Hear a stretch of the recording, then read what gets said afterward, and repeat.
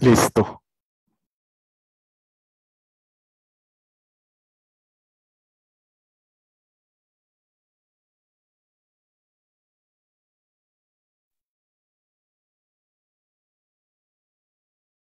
Buenas tardes a todas las personas que nos acompañan desde los diferentes países de América Latina. Eh, yo me llamo Sandra Monge y trabajo en la Fundación Justicia y Género. Eh, les doy la más cordial bienvenida a este evento que realmente va a ser muy enriquecedor y bueno, pues nos abre una ventana de, para reflexionar sobre la violencia cibernética. Eh, la Fundación Justicia y Género, con el apoyo de UNESCO y AYESIP, le, le damos la más cordial bienvenida al doctor Gustavo Adolfo Jiménez Madrigal, quien nos va a acompañar hoy como moderador. También nos acompaña la doctora Montserrat Vidal, que ella es representante de UNESCO en Centroamérica, a quien nos va a acompañar facilitándonos unas palabras de apertura. Adelante, Montserrat, tiene la palabra. Bueno, pues eh, muchísimas gracias. Agradezco muchísimo a la Fundación Justicia y Género eh, por la invitación a poder acompañarles el día de hoy. Eh, buenas tardes a todos y todas los, las personas que están participando y las personas que van a participar también de este panel.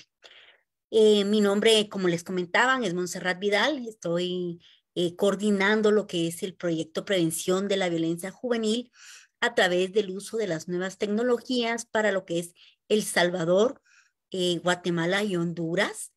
Y eh, es para mí de parte del sector de ciencias sociales y humanas eh, y de AESI, un gusto poder estarles acompañando el día de hoy. Quisiera contarles un poquito sobre lo que ha sido este proyecto.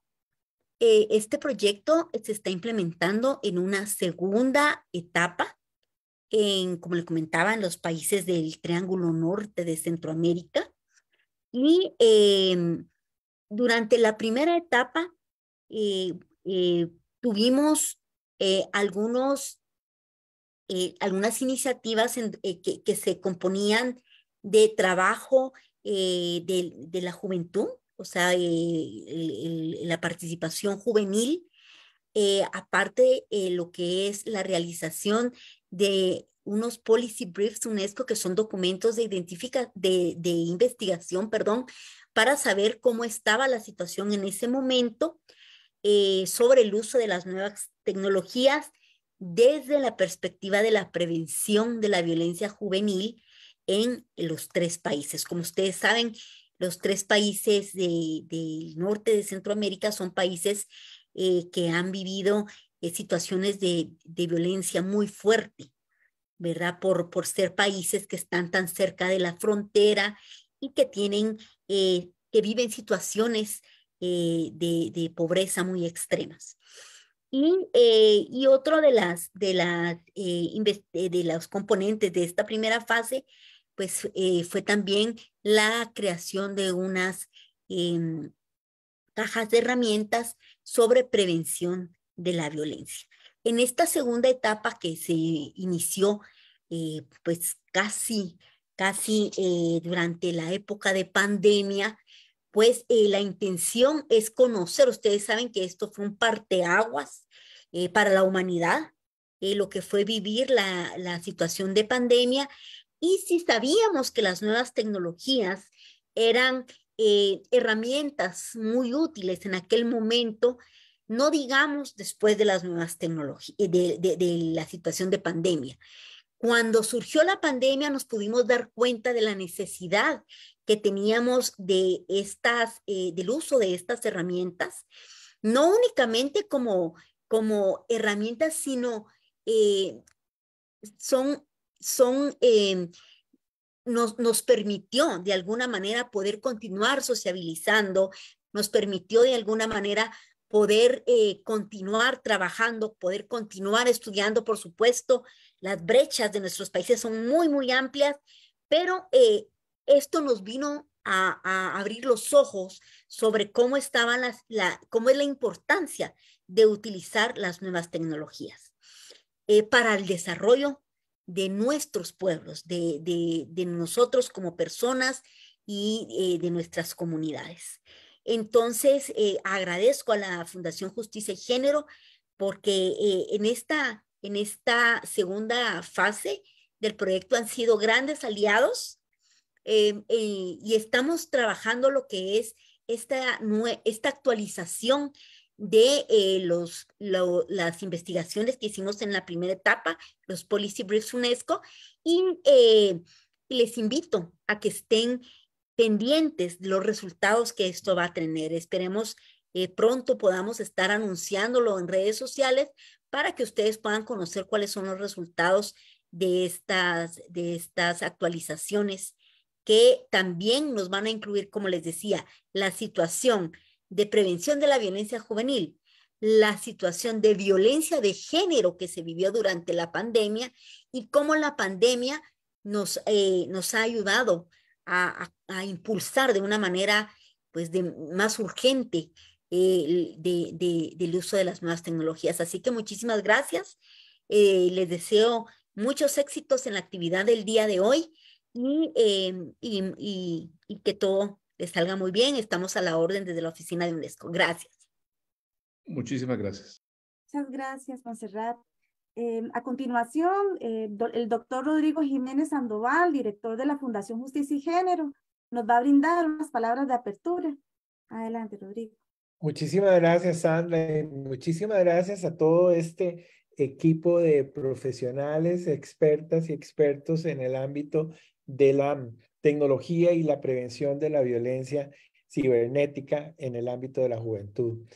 Este, bueno, para la Fundación Justicia y Género, esta alianza con UNESCO y con AECID es fundamental, ya que hemos venido trabajando en los últimos años en la importancia de la tecnología, eh, no solo en la prevención, sino también en la eh, sanción y la erradicación de las formas de violencia contra las mujeres desde una perspectiva de género y desde la interseccionalidad. Yo quisiera resaltar que eh, dentro de las acciones que hemos estado desarrollando, organizamos un encuentro de magistradas de los más altos órganos de justicia de Iberoamérica relacionadas con la tecnología y la justicia en el año 2021 con el Poder Judicial de Honduras y el Poder Judicial de eh, Colombia. En esa ocasión vimos cómo eh, las tecnologías podían ser aliadas fundamentales para asegurar una justicia pronta y cumplida y todo el impacto que tuvo la, eh, la pandemia y la tecnología, cómo tuvo que modificarse y cambiar para poder dar una respuesta clara a la prevención a la sanción y erradicación de la violencia. En esa ocasión tuvimos magistradas de los más altos órganos de justicia de Iberoamérica, donde nos estuvieron narrando eh, la forma en que tuvieron que ir adaptándose y enfrentando los aspectos de la pandemia para asegurar una justicia pronta y cumplida eh, conforme a lo establecido en sus ordenamientos jurídicos y nos estuvieron mostrando eh, las formas en que se está utilizando la tecnología para administrar justicia. Un año posterior, en el encuentro de fiscalías iberoamericanas, se realizó el encuentro de la persecución penal y la tecnología. Todas esas eh, conferencias, tanto del encuentro de magistradas como de fiscales, están en nuestras páginas web para que lo tengan a disposición. En este, en este caso de las fiscalías tuvimos eh, una reunión con fiscales de toda la región donde eh, nos explicaron cómo se están utilizando las tecnologías para la persecución penal en el ámbito de América Latina. Eh, y cómo se utilizan esas pruebas, etcétera, para poder condenar actos delictivos donde la tecnología ha sido fundamental pero también nos han, eh, nos explicaron de la importancia eh, de, los, de la violencia que surge de la tecnología y cómo eh, tenemos que ir actualizando nuestros códigos penales y nuestros códigos procesal penal a esos nuevos retos de la tecnología y la inteligencia artificial. En este caso, la importancia de la tecnología en la prevención de la violencia y la juventud y en esta alianza con UNESCO y con AECID, pues es fundamental, aunque estemos centrados en tres países de los más violentos de la región, como es Honduras, El Salvador y Guatemala, pues también es un reflejo de cómo podemos utilizar las tecnologías en toda, en toda la región. Eh, como bien le decía la, doctora Vidal de UNESCO, la idea es poder luego presentar eh, los resultados a toda la audiencia de América Latina para dar a conocer esos avances en la prevención, sanción y erradicación de, eh, de la violencia contra las personas jóvenes y el uso de las tecnologías. Pero también dentro de todo este esfuerzo que estamos haciendo con AECID y UNESCO, estamos trabajando eh, un documento específico de cómo eh, la tecnología se utiliza como una forma de violencia cibernética y el conversatorio del día de hoy con, con estos panelistas de diferentes países de América Latina, pues también es fundamental porque generalmente las ciencias jurídicas se han quedado un poco atrás a los avances de la tecnología y la inteligencia artificial. De nuevo, quiero agradecerles a los panelistas, agradecerles a todas las personas que nos están, eh, están en el Zoom y que están eh, siguiéndonos en el Zoom, pero también a aquellas personas que nos siguen por medio de Facebook, que ya están también conectadas y conectados, y la población que nos está siguiendo por medio del canal de YouTube de la Fundación Justicia y Género. Muchísimas gracias, Sandra, y le doy la palabra. Muchas gracias, Rodrigo. Y bueno, em, para dar inicio a esta actividad, me gustaría darle la bienvenida al moderador de la actividad, que es el doctor Gustavo Adolfo Jiménez Madrigal. Él es costarricense, juez de apelación eh, de sentencia y también es profesor universitario. Él tiene formación como en la Universidad de Costa Rica como licenciado en Derecho, tuvo una graduación de honor y también eh, es doctor en estudios avanzados en derechos humanos eh, por la Universidad Carlos III de Madrid. Eh, es máster en sociología, también tiene un diploma de postítulo de derechos humanos y mujeres, teoría y práctica en la Universidad de Chile.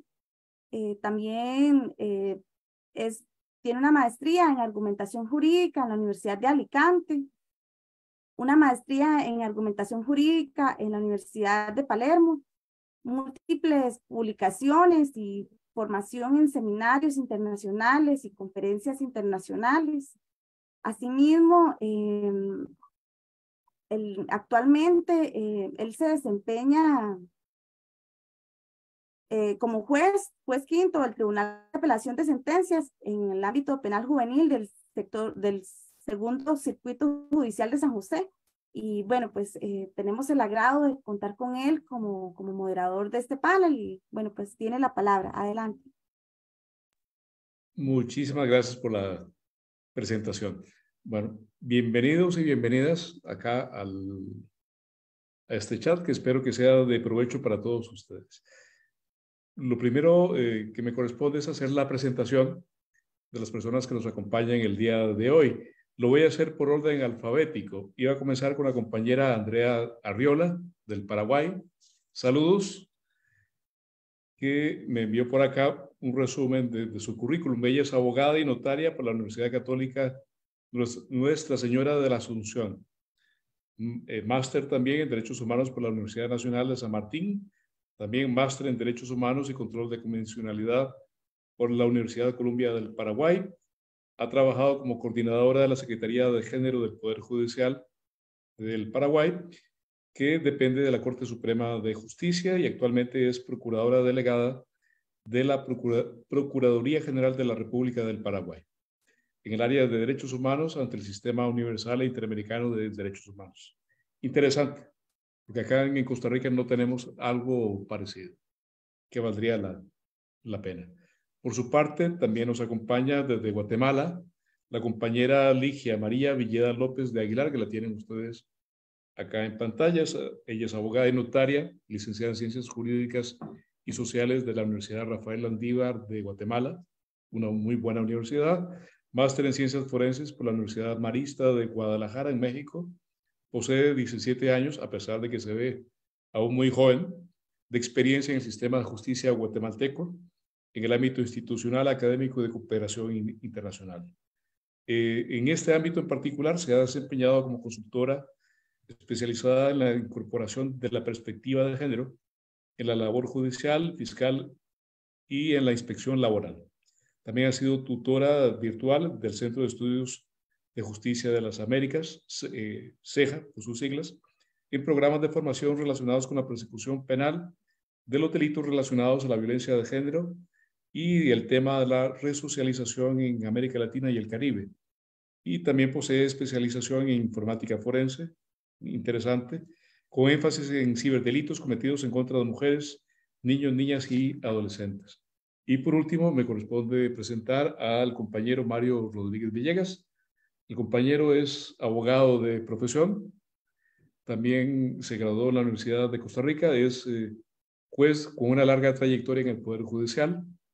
Actualmente está destacado en el juzgado penal del Cantón de Atenas, que se dice Costa Rica es el lugar con el mejor clima del país. Tiene formación en el ámbito de los derechos humanos y, eh, desde luego, también en el ámbito del derecho penal. Tiene un diploma en derechos humanos en el Instituto Interamericano de Derechos Humanos, tiene su sede en Costa Rica, también por la Universidad de Lund y el Instituto Raúl Wallenberg.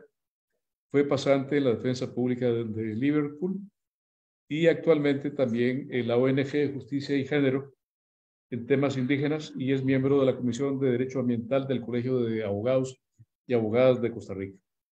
Eh, fue defensor público durante ocho años y eh, tiene 23 años de ser funcionario judicial.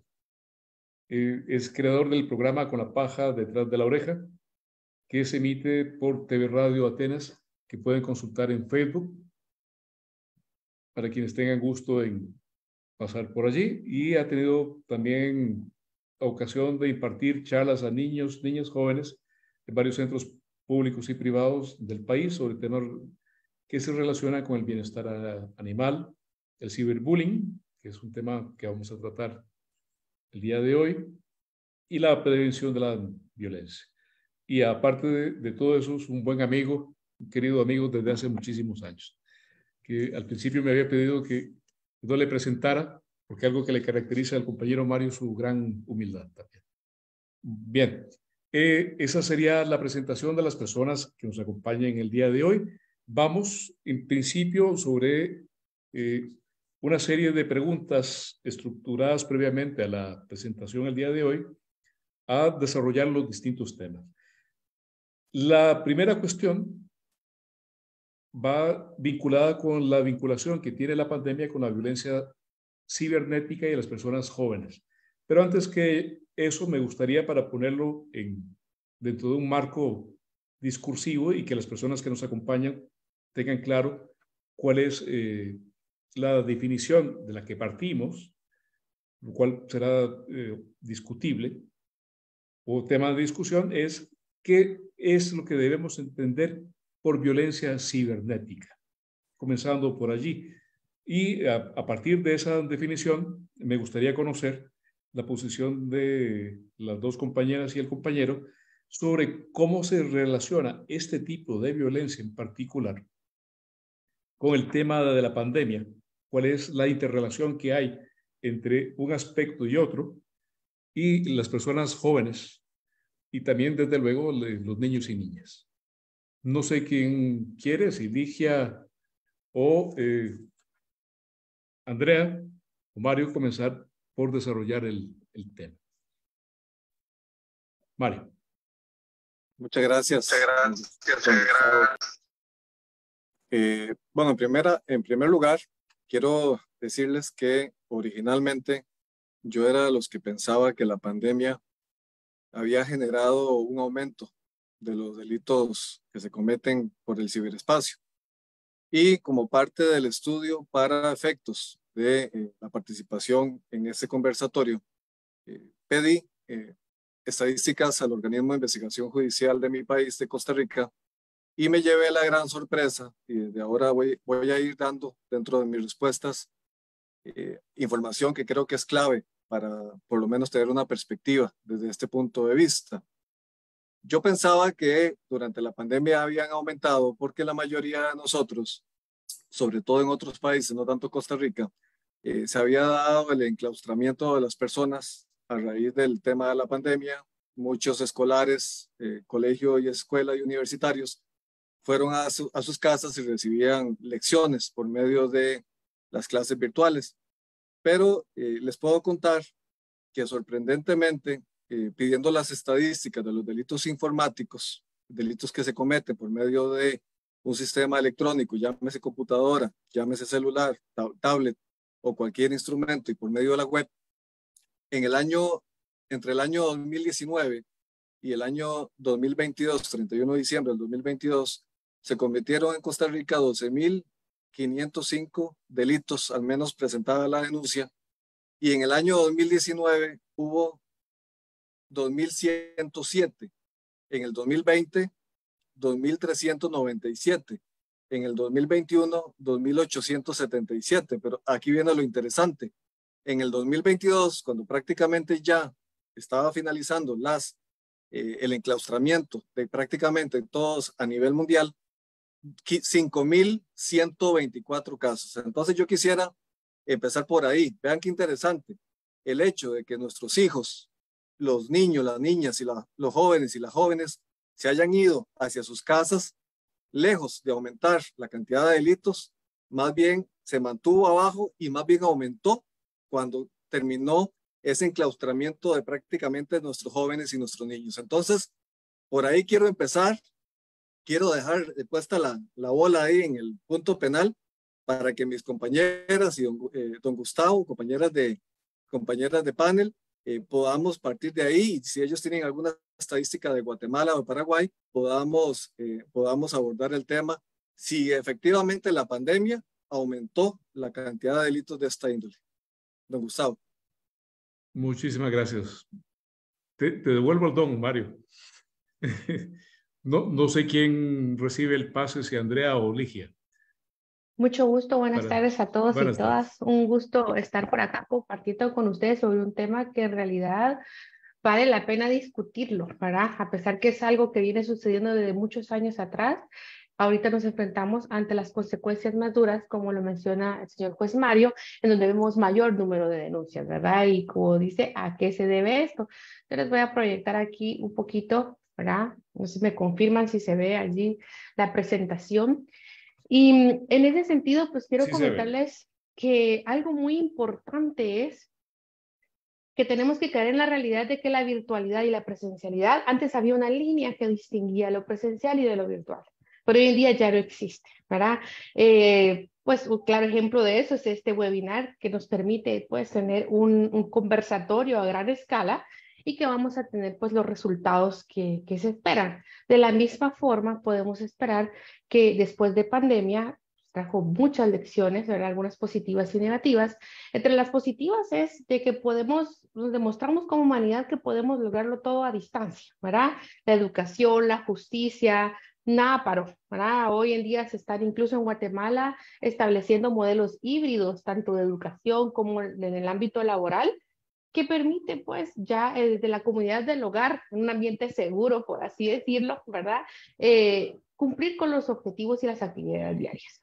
En ese sentido, eh, estamos viendo que en Guatemala se hizo un estudio en el nivel educativo y este nos reveló de que uno de cada tres estudiantes ha sufrido violencia virtual. ¿Verdad? Entonces, digamos, yo ahorita para efectos de, de esta ponencia está la violencia virtual y la violencia presencial. Entonces vamos a ver de que la violencia virtual, una de cada tres estudiantes lo ha sufrido. Y lo más preocupante es que únicamente uno de cada diez de estos estudiantes se siente con la confianza de contarle a una persona adulta lo que le está sucediendo, ¿verdad?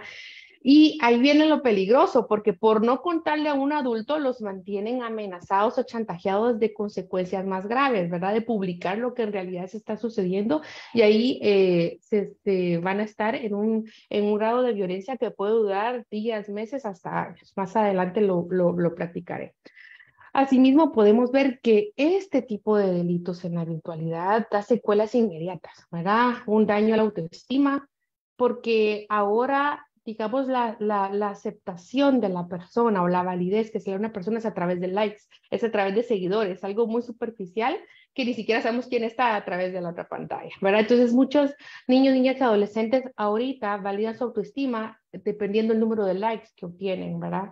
Eh, también afecta la integridad física porque muchos de esos delitos en el ciberespacio trascienden a la realidad, ¿verdad? Porque son captados en la virtualidad, pero sufren consecuencias presenciales ¿verdad? Y también un daño emocional. Entonces, vamos a ver que si vamos al espacio presencial o la realidad física, como podríamos hablarlo, podemos ver que a diferencia de años anteriores, em, si alguien sufría bullying o era violentado, golpeado, amenazado, pues lo iban a observar los de la clase, unas 10 personas, 5 personas, no sabemos. Pero la virtualidad pues hace que ese acto que puede humillar a la persona trascienda a un nivel sin escala, ¿verdad? Puede ser hasta a nivel internacional. Entonces el impacto es mayor porque una vez es publicado o cuando el acto es grabado y se publica de la misma forma por un tercero que observó, vamos viendo de que la magnitud del impacto es mucho mayor. Por lo tanto, el daño inmediato en la persona que sufre ciberviolencia eh, se observa pues de forma, de forma rápida. Entonces, hay que tener, digamos, presente que, el tema de la virtualidad sale de nuestras manos, ¿verdad? Porque aunque lo queramos borrar de nuestro dispositivo, del de mamá, papá, amigos, pues ya, ya salió de las manos, ¿verdad? Ya va a gran escala. Entonces, a nivel global, eh, de acuerdo a los estudios que, realizó UNICEF, también se establece que uno de cada tres usuarios o usuarias en Internet de redes sociales, ¿verdad? Eh, es un niño, niña o adolescente. Imagínense, uno de tres, creo que es una cantidad bastante representativa.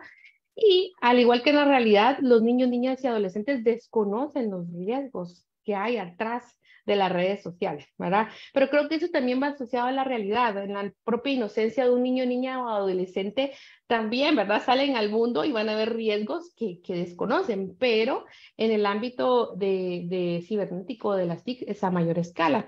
Eh, porque no solo sucede a través de un celular, computadora, este, sino que también a través de los videojuegos. Las consolas de videojuegos es un gran potencial de ser víctimas de este tipo de ciberdelitos, como Xbox, como PlayStation, esos que están conectados en Internet y que permiten jugar en línea. Entonces, también eso no, se desconoce. Hay padres de familia que incluso llegan a comprar esos dispositivos para que pues, puedan jugar en casa y no corran riesgos y es donde más riesgos se corren, ¿verdad?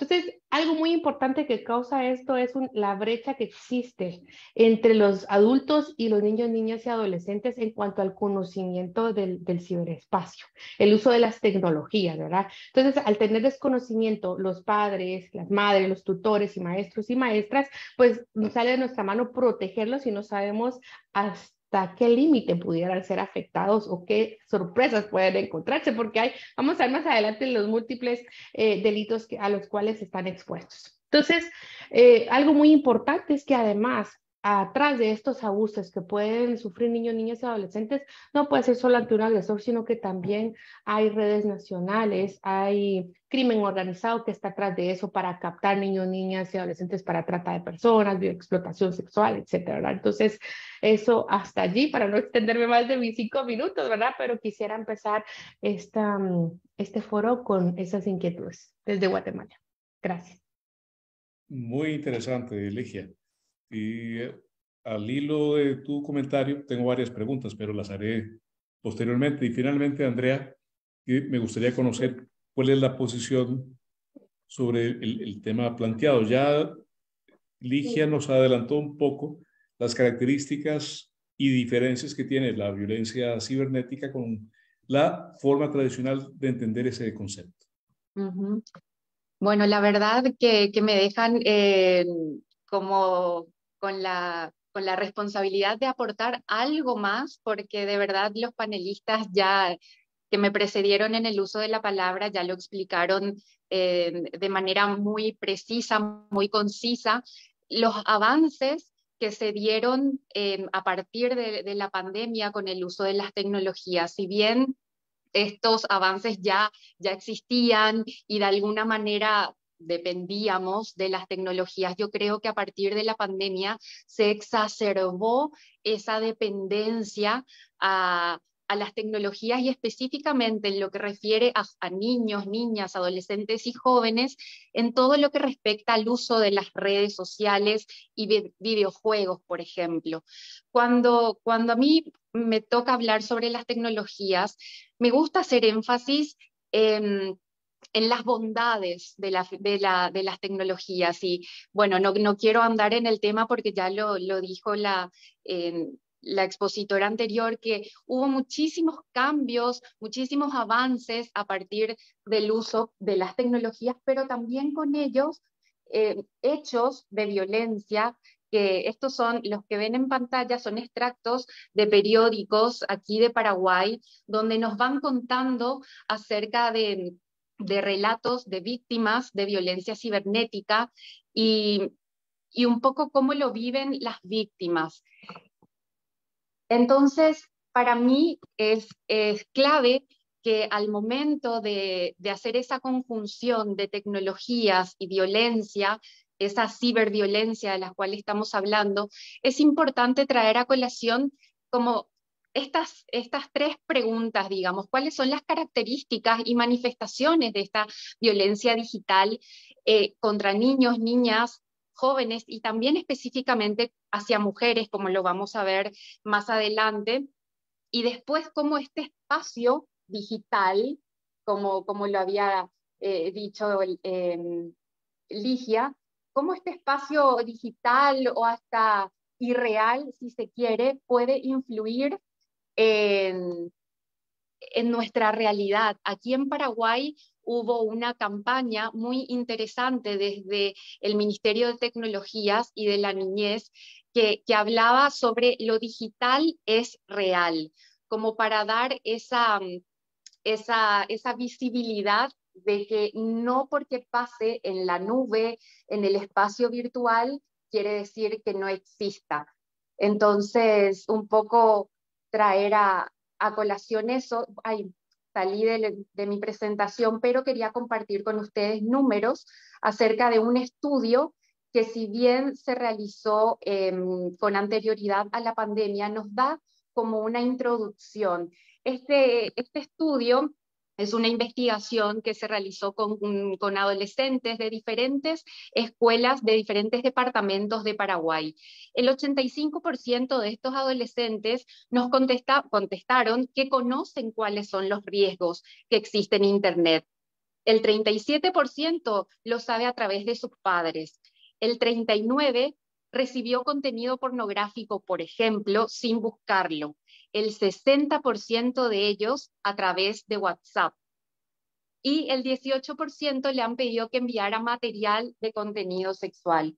Es decir, vemos cómo estos riesgos están latentes y están, como se dice, a un clic de, nuestros niños, niñas, jóvenes y, adolescentes. También otros de, los datos que nos trae este estudio es que el 77% de los adolescentes tiene celular propio, que una gran mayoría los utiliza sin supervisión, que conoce, pero con ciertas reglas.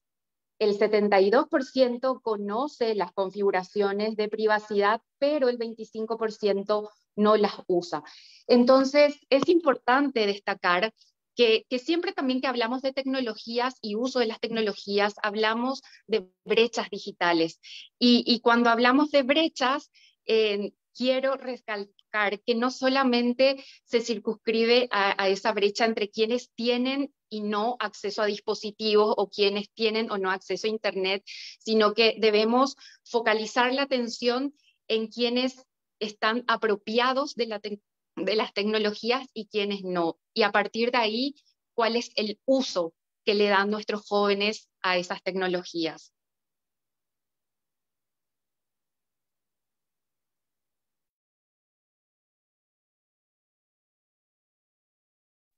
un poco por ahí en compartir con ustedes esos datos de Paraguay. Luego de, de la pandemia, a través de, una línea telefónica gratuita que habilitó el Ministerio de la Niñez, sí hay un, no un alto porcentaje, pero sí es importante y esto llama la atención de, denuncias em, que tienen que ver con, con, acoso cibernético, con ciberbullying, con conductas que generan dependencia a los videojuegos, por ejemplo. Gustavo, ¿me permite hacer, una, hacer un comentario sobre lo indicado por Ligia y Andrea?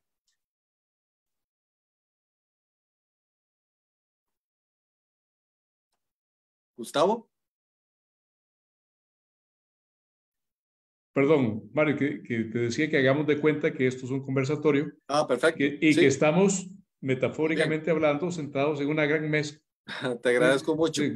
Sí, no, es, es, que ambas hicieron, eh, eh, hicieron énfasis en el tema de los videojuegos y yo casualmente hace unos meses escribí un artículo sobre el tema y solo quería darles un dato de una eh, firma llamada Carpens, Car, Kaspersky, en la cual se determinó que durante el año pasado, 2022, unos 384 mil usuarios fueron afectados por robo de información o daño a sus equipos.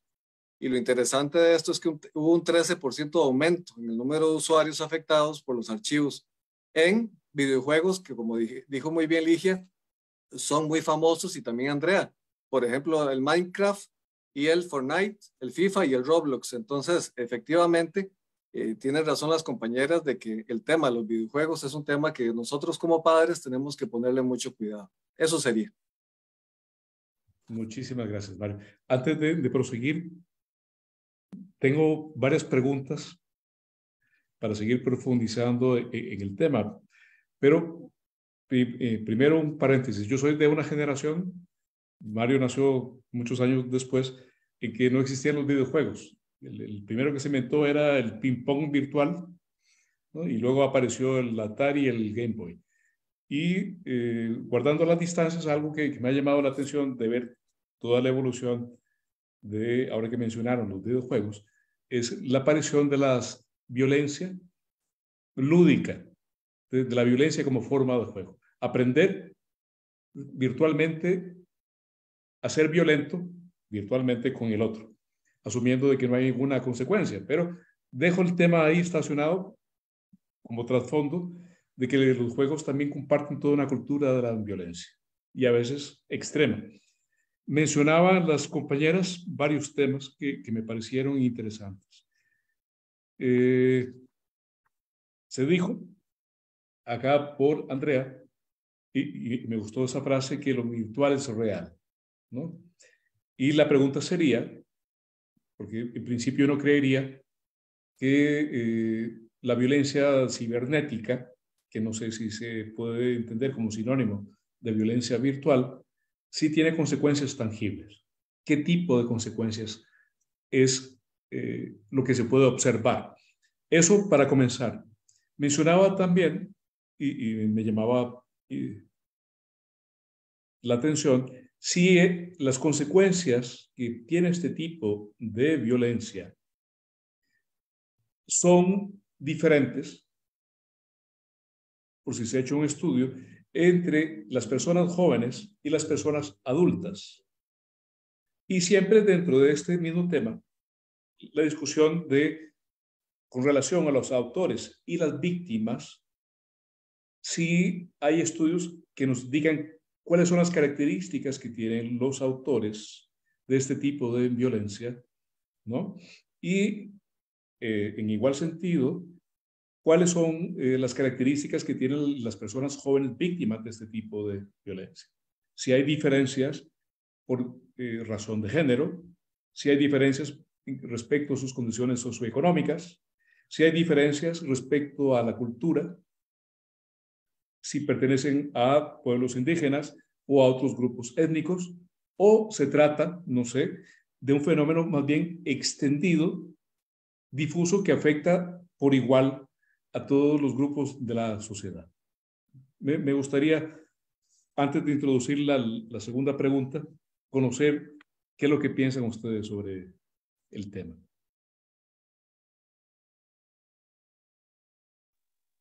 Bueno, por mi parte, yo podría decir que hace unos años, em, para mi trabajo de, tesis de maestría, hice un estudio que estuvo enfocado en, en la violencia de tipo sexual dirigida hacia las mujeres, la violencia sexual digital, digamos, y las repercusiones que eso tenía en la vida de las mujeres.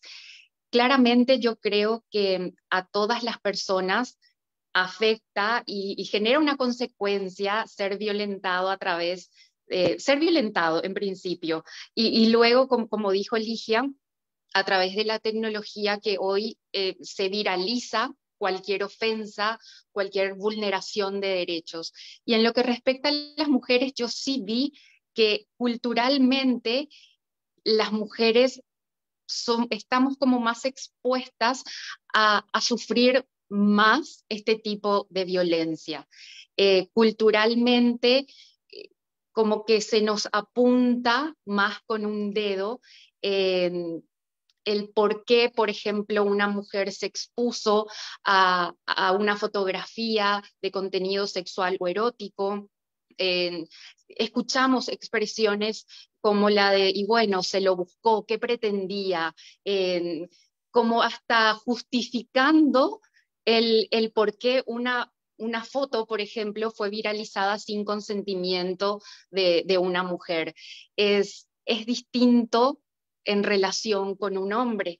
Em, porque muchas veces eh, hay casos más bien de gente famosa, por decirlo de algún modo, que si se viraliza una fotografía erótica de un actor, estamos conversando acerca de cuán guapo es o cuán atractivo es, y cuando se viraliza una mujer en situación íntima, eh, específicamente estamos hablando de de qué tan buena mujer es o, cuestiones que van más allá eh, o dirigidas, mejor dicho, a su privacidad.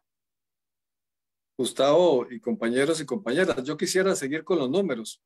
A pesar de que soy bastante malo con las matemáticas, creo que las estadísticas revelan mucho. Eh, imaginémonos este número que ya les indiqué. 12.505 casos de denuncias por delitos informáticos en Costa Rica entre 2019 y 2022. De esos, el rango de edad, que es más o menos la pregunta que hizo Gustavo, se las voy a dar para que vean qué interesante. Entre 0 y 11 años, las víctimas fueron 78, o sea, niños 78. Entre 12 y 17 años, es decir, adolescentes, preadolescentes y adolescentes, 496. Y aquí es donde viene la sorpresa. Yo pensé que ahí iba a estar la mayor cantidad de, de casos y entre 18 y 29 años, es decir, adultos jóvenes, 2.934. Y aquí viene el dato que creo es más revelador. Por género, 6.305 asuntos de mujeres ofendidas y menos hombres, 5.363 hombres. Entonces, creo que los números en el caso costarricense revelan que efectivamente las mujeres son más vulneradas desde el punto de vista como víctimas en delitos informáticos. Y interesante, antes de escuchar a, Ligia, nada más, a, veces en materia de denuncias existe también eh, un sesgo de género. que podría darse la situación de que un hombre sea también eh, ofendido, pero no va a acudir a eh, el Poder Judicial para decir, mire, las fotos íntimas mías fueron difundidas sin mi consentimiento y, y, me están haciendo bullying o me están atacando de, de, alguna forma. Pero lo que decía Andrea, y antes de escuchar a Ligia, algo que me llama la atención escuchando a Andrea es si el anonimato relativo que permiten las tecnologías de la información no, no eh, es lo que facilita que se pueda ejercer de una manera y a veces muy cruel este tipo de violencia. En el sentido de que quien la comete por lo general, obviamente, se oculta detrás de, una máscara virtual eh, para evitar ser identificado. Ya veremos si eso es posible o no, desde un punto de vista técnico, a efecto de poder perseguir y sancionar este tipo de delincuencia. Ligia, no sé si quieres compartir Sí, yo creo que solo voy a aportar sobre algo de las preguntas que, que, lanzó en cuanto al perfil de la víctima y, de los, y del agresor o agresora, porque hablemoslo, también hay mujeres agresoras, ¿verdad? O sea, eso es, pero es el menor porcentaje.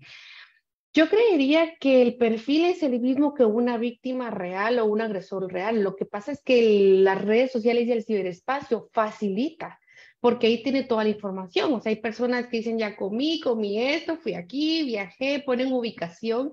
Entonces, yo lo único creo que los perfiles son los mismos, porque el agresor igual, si es violentador, eh, si viola sexualmente, es violador sexual, por ejemplo, para decirlo un término, de adolescentes, hombres de 15, 17 años, en vez de ir a una escuela, seguirlo, ver su rutina, ahora va a su red social y lo puede contactar sobre su red social y lo puede engañar más fácil, ya que la víctima lo ve desde el principio y le está hablando un hombre, y diga, ¿y qué querrá él de mí? No, ni le hablo, o huyo, o lo veo y escondo. Entonces, como que las redes sociales no nos permite ver eso. Ahora yo, eh, en uno de los casos que, que, tuve hace un tiempo, justamente está pues el grooming, ya lo vamos a ver, y cabal era un violador que a todas sus víctimas las captaba, eran hombres, a través de las redes sociales con una foto de mujer. O sea, el reto creo único que tenemos a través del ciberespacio es el anonimato, ¿verdad? Que, pero no obstante, también es más o menos, porque para cometer un delito eh, en realidad no es que se cometa a través de las redes, sino que es el medio para cometerlo, por así decirlo, para vulnerar el derecho. Entonces, yo creo que lo que se nos salió de las manos o se sale de las manos es el medio por el cual se comete, que es una red social, y en el ámbito de la justicia es cómo ese medio llevarlo ante un tribunal o una corte a que le dé un valor probatorio y hay una sentencia, cuando en muchas legislaciones ni siquiera están esos delitos regulados, pero sí está la violencia sexual, sí está el femicidio, ¿verdad? Entonces, a veces, por ejemplo, en Guatemala teníamos ese inconveniente, mire, pero no se puede porque ese delito no está. Decía, bueno, no es necesario, veamos el derecho tutelado, cuál fue violentado. O sea, el medio a través del cual se captó a la víctima es indiferente, ¿verdad? Pero sí creo que definitivamente las redes sociales, el espacio en general, lo que hace nada más es facilitar la, el captar a, las víctimas, ¿verdad? Incluso a nivel internacional, ¿verdad? Eso es pues, para aportar. Sí, sí, si te entiendo bien, Ligia, te refieres un hechos delictivos, quedándonos en el ámbito del, del derecho penal, que comienzan virtualmente, pero luego trascienden a la violencia física directa. Esto para diferenciarlo de la exposición de Andrea y Mario. Eh, Andrea ponía el énfasis en un delito virtual que se mantiene siempre en el plano de, lo virtual, pero tiene consecuencias, digámoslo así, a nivel social en cuanto a la interacción de la persona al verse expuesta de una u otra forma, y desde luego tiene consecuencias a nivel psicológico en cuanto al sufrimiento que se le causa a la víctima.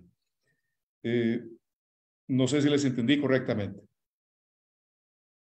Sí, y un aporte último en relación a eso es que creo que la victimización terciaria, o sea, escala a un grado incontrolable, ¿verdad? Porque es, ah, esa es la chica que se dio en el video que andó, ya no es como que lo sepa mi cuadra, mis vecinos, sino que la victimización es me puede señalar a donde yo vaya, al interior, si viajo, depende de lo que, la magnitud de lo que se vio. O sea, creo que la victimización terciaria sí trasciende más allá, mientras que lo que es en la realidad y se queda solo sin, sin subirlo a redes o publicarlo, pues sabrán que, que fue violada una persona, los vecinos o el círculo más cercano, ¿verdad?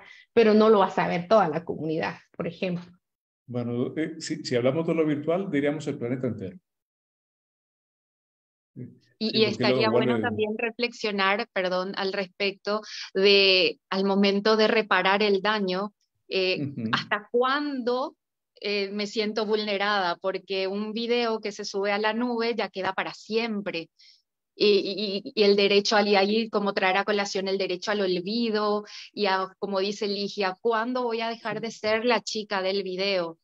Entonces, y también la, dificultad, por ejemplo, para que los juzgados ordenen una medida cautelar de que se frene la difusión, cuando hoy en día a través de los grupos de WhatsApp es eh, tan fácil como, no sé, entonces es un poco también las consecuencias nocivas de, la exposición, de la sobreexposición de las personas a través de las tecnologías, a través de las redes sociales. Ligia ya lo adelantó, lo voy a anotar acá para retomarlo en el transcurso de la conversación. Si las legislaciones nacionales frente a delitos que pueden trascender las fronteras nacionales se están quedando cortas. Recuerden ustedes el viejo texto de Eduardo Novoa Monreal, el clásico del derecho como obstáculo al cambio social. le puso ese título, pero la idea es el derecho siempre se queda rezagado frente a los cambios. Lo dejo ahí apuntado para retomarlo después. Me, sugerían como siguiente tema del, del conversatorio, perdón, cuáles son las manifestaciones más usuales de la violencia cibernética. Yo traduzco la pregunta, ¿qué tipología o clasificación podemos establecer de la violencia cibernética? De lo que han observado ustedes. Si, si, gustan, me gustaría eh, eh, aportar, creo que hay un, hay un caso eh, emblemático a nivel mundial y a, a, los que no lo conozcan, a las que no lo conozcan, invito a buscar en YouTube el caso de Amanda Todd. Yo creo que ese es un caso que definitivamente eh, revela a dónde se puede llegar eh, por medio del ciberacoso, del ciberbullying, y cómo se puede... Mario, Mario, perdón que te interrumpa, me, me está indicando acá el, el, compañero Marlon Orozco que dice que se escucha muy bajo, muy suave. Sí. No sé Ahora sí, vamos a, vamos a acercarnos más. Eh, el caso, el caso de Amanda Todd en Canadá es, el, es un caso que realmente es, eh, es desgarrador y yo quiero partir de ahí y haciendo un comentario al margen.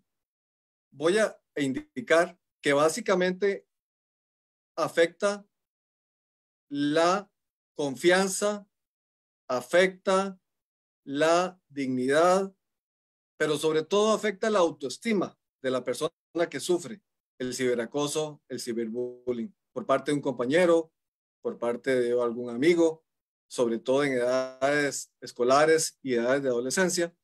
Y aquí el comentario al margen es el siguiente. Hace unos días, la eh, ministra Ana Caterina Müller, eh, ministra de Educación costarricense, indicó que si tuviesen los jóvenes más autoestima, no sufrirían tanto el ciberacoso. Y ese comentario lo hago porque el año pasado tuve mucha suerte de dar muchas charlas sobre este tema a niños y adolescentes. Y yo les decía a ellos que nosotros, los cuarentones para arriba, también sufrimos acoso. También sufrimos acoso. La gran diferencia es el motivo por el cual estamos reunidos y reunidas acá. Y lo dijo muy bien Andrea y lo dijo muy bien Ligia. No hay derecho al olvido, simple y sencillamente. Un simple comentario, una fotografía, como le pasó a Amanda Todd. Amanda Todd eh, tenía una relación de, novio, un noviecillo, una relación ahí eh, informal, estaban conociéndose y en determinado momento el novio le pidió que le enviara una fotografía desnuda, ella le envía la fotografía de sus senos y a partir de ahí se provocó una bola de nieve caída desde el Everest que terminó con su suicidio. Entonces veamos efectivamente el daño que se puede provocar. Y no es correcto decir que porque tienen problemas de autoestima, eh, se ven afectados por el bullying, porque nosotros no vivimos esta era de la cibernética, donde las cosas simplemente no se borran y circulan en el ciberespacio y tenés que vivir 24 horas de acoso, ¿verdad? En las redes, en las redes sociales, en el WhatsApp, y a diferencia de nosotros, que el acoso, si se daba, se daba en horas escolares y ya luego uno se iba para la casa y al día siguiente a todo el mundo se le olvidaba. Ese era mi comentario. Muchas gracias. Muchísimas gracias, Mario. Andrea Eligia. Bueno, entonces eh, sí, totalmente lo que hablábamos, ¿verdad? Em, que la escala, el impacto que tiene o la escala, imagínense que el celular pues no sé ustedes, pero creo que la mayoría dormimos con el celular en la mesa de noche. Muchos cometemos el error que lo primero que vemos al levantarnos es el celular y al acostarnos es el celular. ¿Qué pasa si cada vez que veo el celular veo intimidaciones, chantajes, maltratos? Es algo que me va a desgastar emocional y psicológicamente, aunque sea, ah, no es por teléfono, no me va a hacer nada, o es, pero eso impacta, crea una inseguridad, o sea, es como que inevitable que pueda eh, desestabilizar a una persona, ¿verdad? Entonces, en ese sentido, em, trataré de, ser breve. Algunas de las manifestaciones en las que usualmente la juventud se ve inmersa en el tema de, de violencia cibernética es el sexting, por ejemplo, que si bien en sí mismo no es una, una forma de violencia, pero los adolescentes incluso lo han incorporado como una forma de relacionarse. El problema es que en muchos casos desconocen o no son conscientes de los riesgos que puede llevar esa actitud. Recordemos que hoy en día todo lo que subamos a una red social deja de ser de nuestra propiedad. ¿verdad? Se nos puede salir de nuestras manos. Incluso siendo una foto mía o de mi bebé, de mi familia, o sea, ya es parte de, de un mundo que mi foto la pueden utilizar, vamos a ver más adelante, y pasa, clonación de perfiles y demás para muchas cosas. Entonces, ¿qué es lo que pasa? Que si las imágenes o videos son compartidas, pues puede verse dañado el derecho a la propia imagen, el derecho a la intimidad, ¿verdad? Y esto puede traer además ser víctima de ciberbullying o de una sextorsión, ¿verdad? O sea, una acción tan sencilla e inocente como el sexting puede parar en otro tipo de manifestaciones que es ciberacoso, y también el ciberbullying. Entonces, cuando vamos al ciberacoso, que también es otra manifestación violenta, este ocurre la mayoría de veces en redes sociales, a través también de plataformas de mensajería, WhatsApp, Instagram, este Snapchat, TikTok, todas las que ustedes pueden imaginarse que están actualmente. Entonces, a través de los videojuegos también. Entonces, por ejemplo, el ciberacoso va dirigido a atemorizar a una persona, a hacerle enfadar o humillar a otra persona, ¿verdad? El acoso cara a cara y el ciberacoso ocurren a, menudo. Lo único que, como platicábamos, y Mario lo mencionó, es que eh, el ciberacoso sí deja una huella digital, ¿verdad? Que no la podemos borrar, ahí persiste. Mientras, eh, cuando es un, un, acoso cara a cara, pues se puede olvidar y la gente que lo vivió lo olvida y sucede otra cosa, ¿verdad? Y el ciberbullying, que es otra forma de acoso que se da entre niños, niñas y adolescentes, pues esto va a consistir en un comportamiento que es repetitivo, ¿verdad? Hay un hostigamiento, hay una intimidación y buscan crear una exclusión social. A través de los mensajes, a través de videos, de imágenes. Y este ciberbullying lo que pretende es dañar. Es, es difamar, es humillar, es insultar. Entonces, realmente, si vemos algo que, que, cada rato se está viendo, se está repitiendo, pues definitivamente no es como el bullying escolar. El ciberbullying va a gran escala, porque en el bullying escolar me va a molestar mi clase o una clase de arriba, pero el ciberbullying va a ser todo el colegio. ¿verdad? Eso creo que sí es muy importante tenerlo presente. Imagínense eso si nos sucediera a nosotros, porque también en mi época, o sea, yo mi primer celular fue a mis 17 años. Hoy una persona, niño, niño, niña, adolescente, de los 6 años ya tienen un dispositivo a su alcance, ¿verdad? Está el online grooming, ¿verdad? Que es la seducción en línea, también denominado como acoso y abuso sexual online, que es un delito el cual se comete a través de Internet, ¿verdad? Una persona adulta contacta a un niño, niña o adolescente y se gana poco a poco la confianza, la conquista, ¿verdad? Con el fin de involucrarlo en una actividad sexual, ¿sí? Lo más preocupante es que el, online grooming se puede sufrir por primera vez desde los 15 años, ¿verdad? Imagínense es bien conocido que la adolescencia es difícil, pero si encontramos a alguien que nos entiende en Internet, ¿verdad? Es muy fácil que nos vayamos hacia esa influencia. Ligia, ¿por qué los 15 años? Porque es la, edad, por lo mismo de la adolescencia, que crea mayor vulnerabilidad, tanto hombres como mujeres, la sexualidad despierta, ¿verdad? Necesitamos ser validados, nuestra autoestima está teniendo cambios, que si no hay una buena comunicación en nuestro entorno real o no hay buen uso de redes, podemos refugiarnos en algo que no es. Yo creo que antes nos podríamos refugiar, pues que en el alcohol o en una mala influencia, una mala amistad, nos, nos escapamos de casa, si quieren verlo así, pero ahora no, ahora nos refugiamos en algo adictivo que está en las redes y que nos valida diciendo cosas que nadie me dice a mi alrededor. Entonces yo creo que es muy importante ponernos en los zapatos de estos niños, niñas y adolescentes. ¿Por qué caen en eso? ¿verdad? ¿Por qué sucede esa situación? Entonces, eh, este vínculo de confianza que se hace a través del online grooming es muy parecido a la confianza que desarrolla el agresor cuando hay un abuso sexual infantil físico, ¿verdad? Se va trabajando de a poquito, de a poquito hasta que se crea esa dependencia de la persona hacia las acciones que yo quiero en el ámbito sexual. La extorsión, ¿verdad? También sucede cuando una persona chantajea a un niño o niño adolescente con la amenaza de publicar aquella fotografía que tiene un carácter sexual.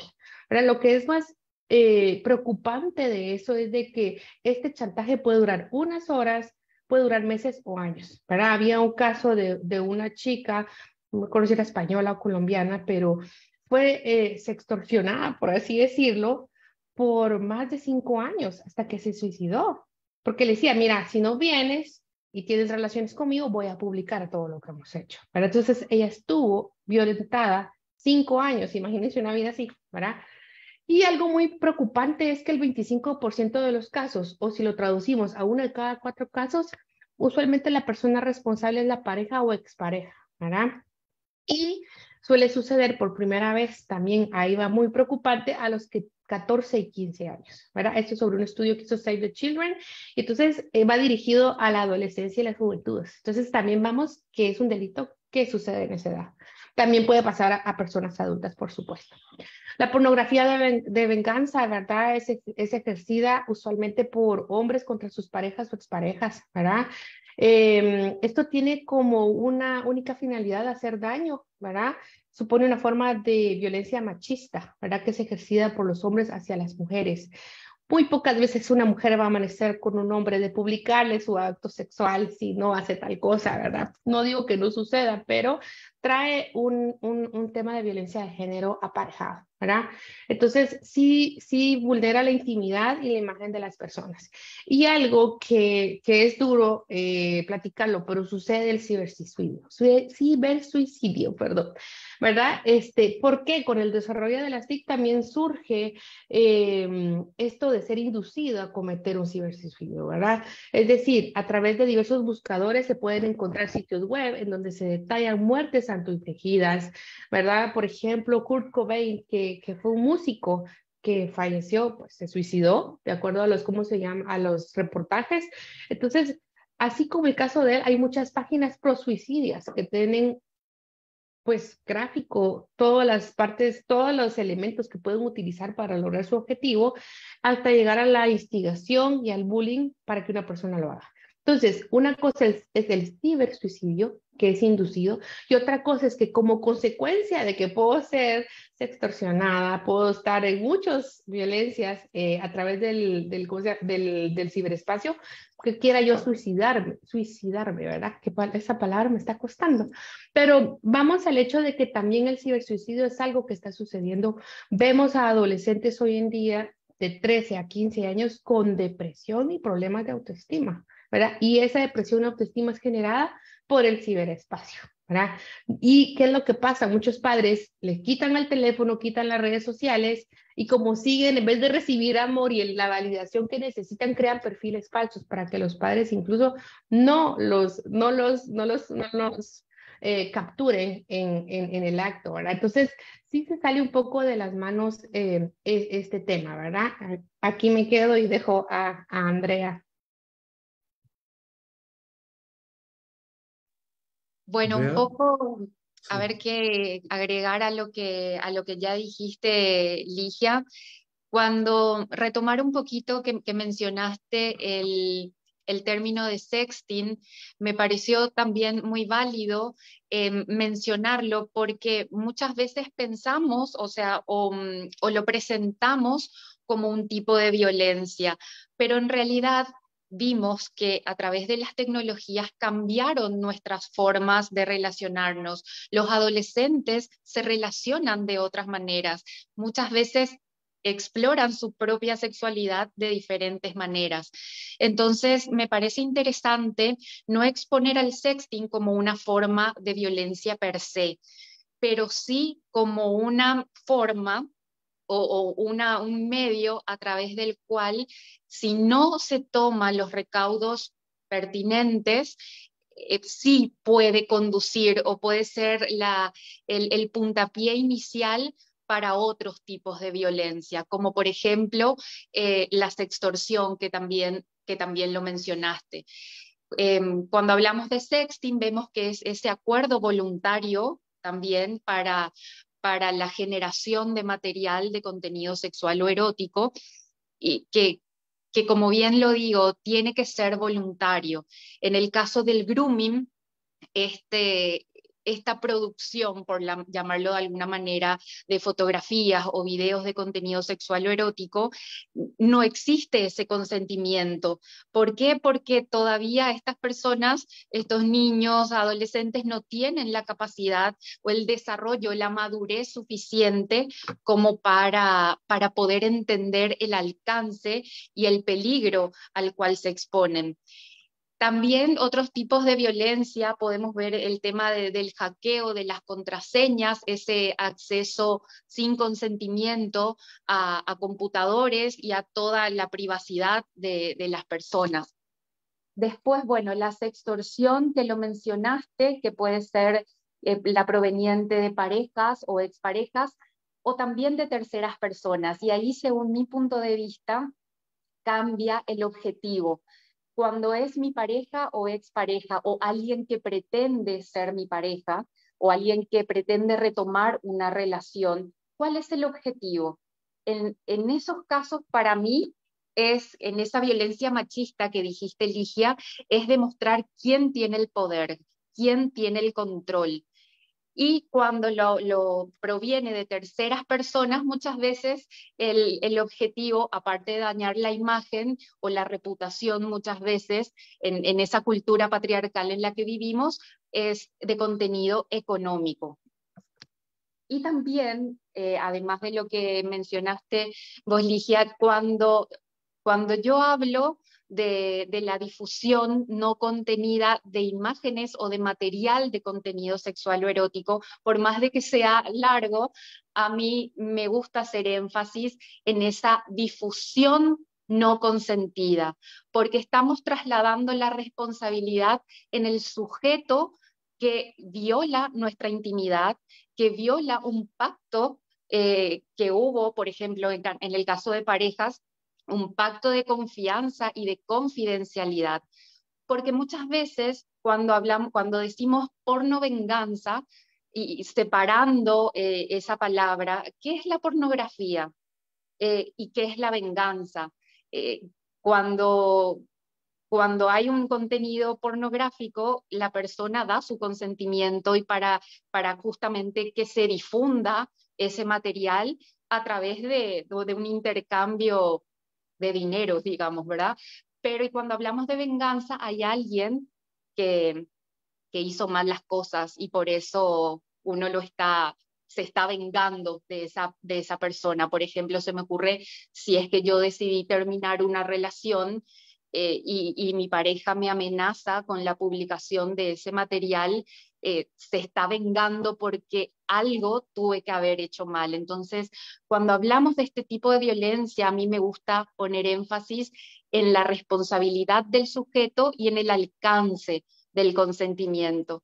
Cuando la persona decide tomarse una fotografía y enviarla, ese, ese, esa acción de ninguna manera puede entenderse como que habilita a la otra persona a que difunda esa fotografía. Por ahí un poco agregar esto a lo que ya muy bien lo explicaste, Ligia. Muchísimas gracias. Que, la tipología que han expuesto ustedes, interesantísima, ¿no? Y eh, se me ocurre que tarde o temprano se va a quedar insuficiente, porque la imaginación humana no conoce límites. Patricia del Rosario García Ortiz en el chat mencionó de que en México se aprobó la ley Olimpia, que lleva el nombre de una persona víctima de este tipo de delincuencia. No la conozco, el, texto, pero lo menciono para que eh, quienes tengan interés lo puedan buscar en, en Internet. Siguiendo siempre con, con el tema, ustedes han mencionado una y otra vez el tema de género. en estas cuestiones, que eh, da a entender de que este tipo de violencia se enfoca en cierto tipo de población, mujeres, niños, niñas y adolescentes. Eh, Mario mencionaba el, el dato, por lo menos para Costa Rica íntimamente relacionado con el concepto de género está el otro concepto acuñado por una autora de apellido Crenshaw, que es el concepto de interseccionalidad, que eh, en realidad no es un concepto, o menos la idea no es novedosa. Sí lo es con ese término, pero el, tema no lo es. Me, gustaría que nos explicaran el concepto de interseccionalidad y la relación que tiene con el, tema de la violencia cibernética. Ya ustedes lo han ido adelantando de una u otra forma a lo largo de sus exposiciones, pero me gustaría que lo enfocaran de manera más específica.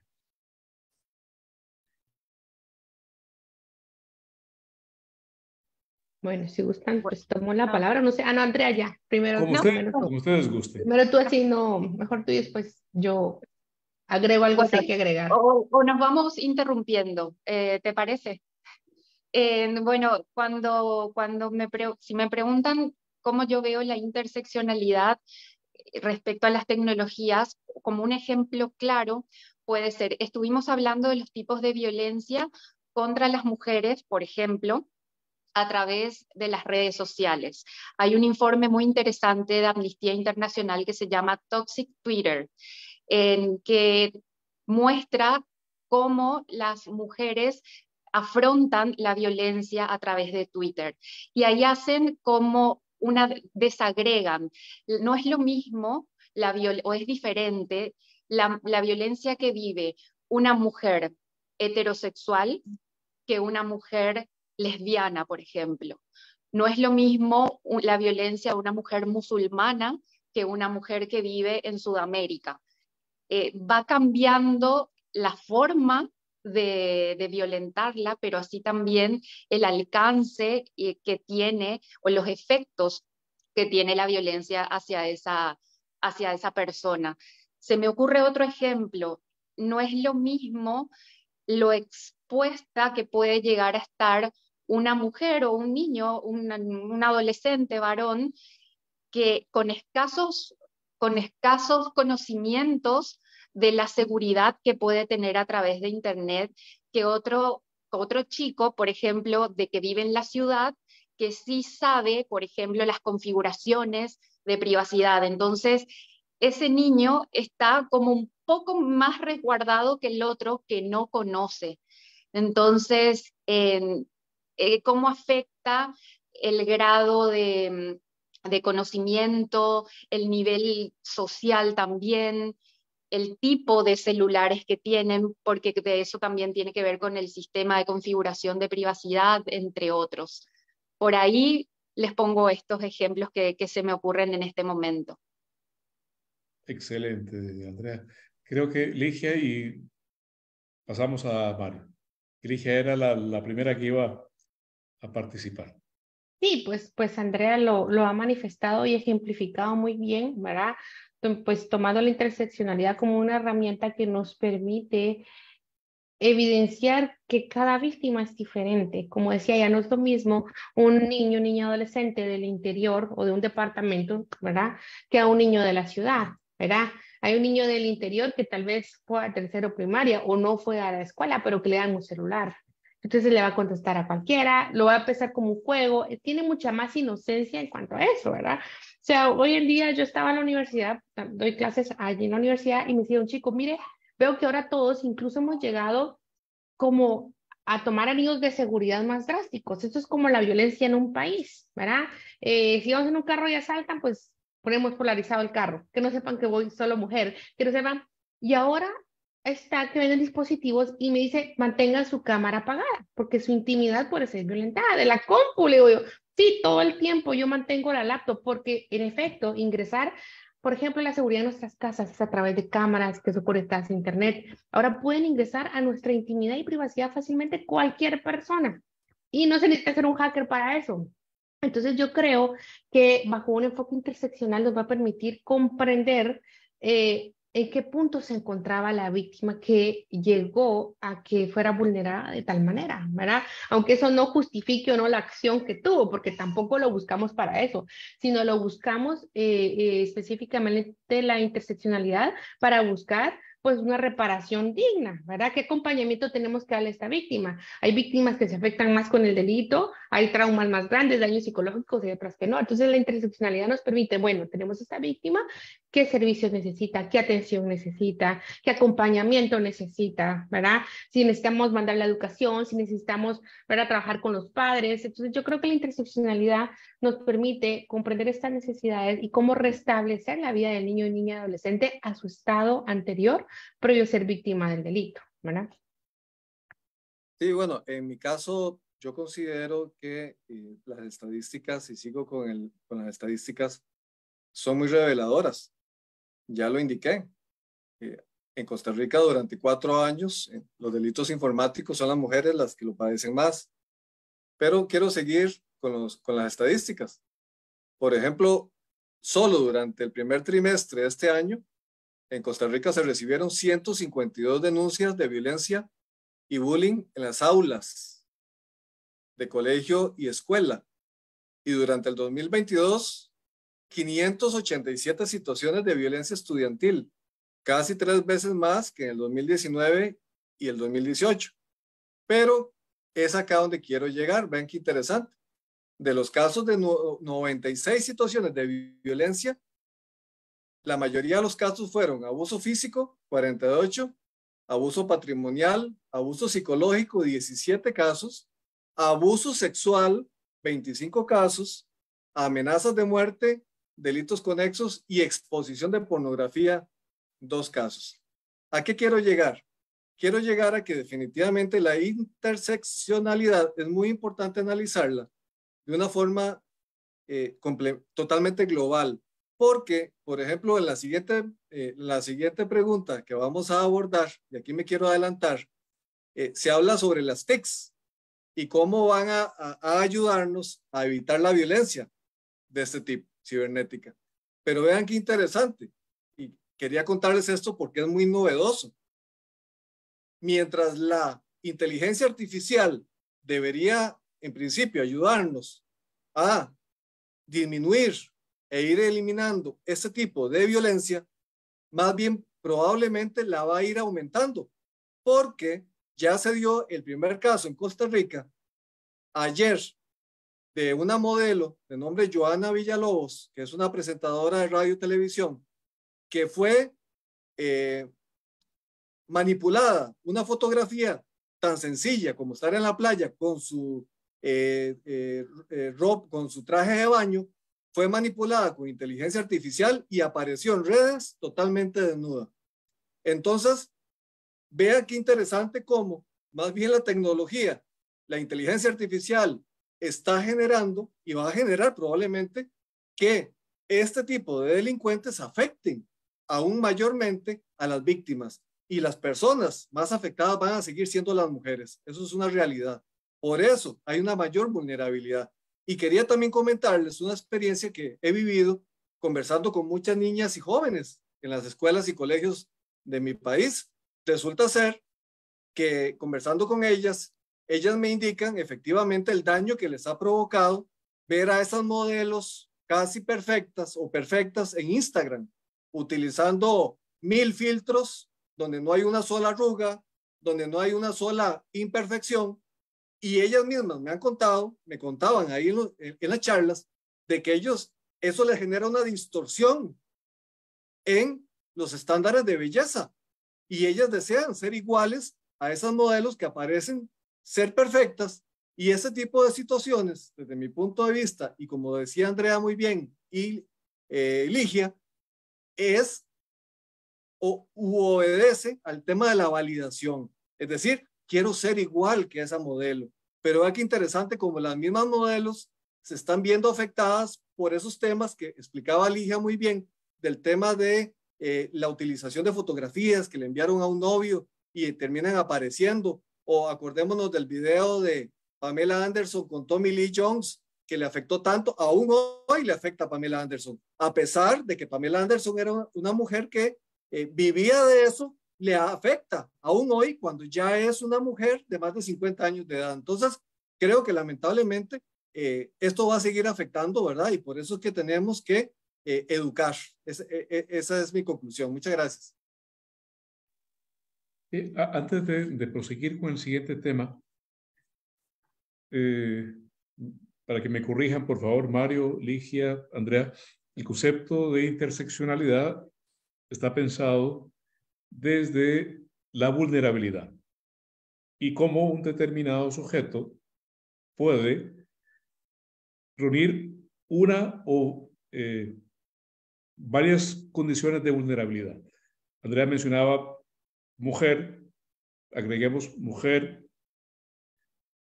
gay, mujer gay eh, en condición de pobreza, mujer gay en condición de pobreza que pertenece a un grupo étnico minoritario, etcétera, etcétera, etcétera. Y eso le vuelve todavía más vulnerable. Y me preguntaba si podríamos también hablar desde el otro punto de vista de una interseccionalidad del sujeto que agrede. Eh, el sujeto que comete estos hechos. Si podemos pensar en que quien utiliza las tecnologías de la información, la violencia virtual para violentar a otros, podría también tener diferentes condiciones, llamémoslo así, que, le den una ventaja. No sé si eh, me estoy explicando. Un hombre, un hombre adulto, un hombre adulto con educación universitaria, un hombre adulto con educación universitaria y con medios económicos, un hombre adulto con, estudios universitarios, eh, muchos medios económicos, conectado políticamente, etcétera, etcétera, etcétera. Gustavo, perdón, tal vez para agregarte en ese tema.